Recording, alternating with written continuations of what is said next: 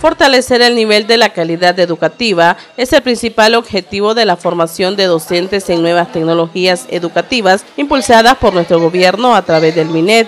Esto es una formación en proceso, comenzamos con 945 maestros en el municipio, hoy gracias a la voluntad expresa y política del gobierno y también a la disposición de nuestro magisterio en el municipio, tenemos 1060 en diferentes turnos, por ejemplo en el instituto tenemos más de 10 escuelas en diferentes turnos, dos horas diarias, ya incluso estamos levantando el listado con nombres correctos y número de cédula, porque ya estamos coordinando con el tecnológico para comenzar a trabajar la certificación. Este curso que está especial para los maestros de 10 horas, entonces, el primero de primer nivel es nociones en TIC, nociones básicas. Simplemente van a ver cómo encender la computadora, apagarla y trabajar en el procesador de texto.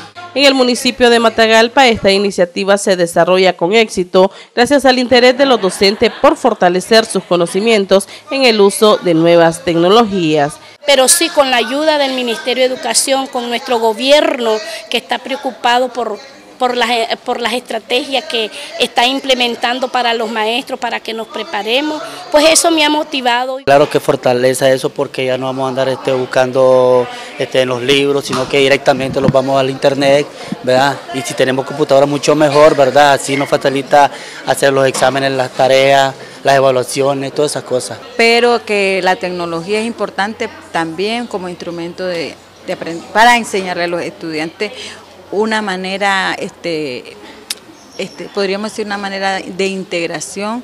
Con imágenes de Manfred Laguna les informó Katy Tatiana Mendoza.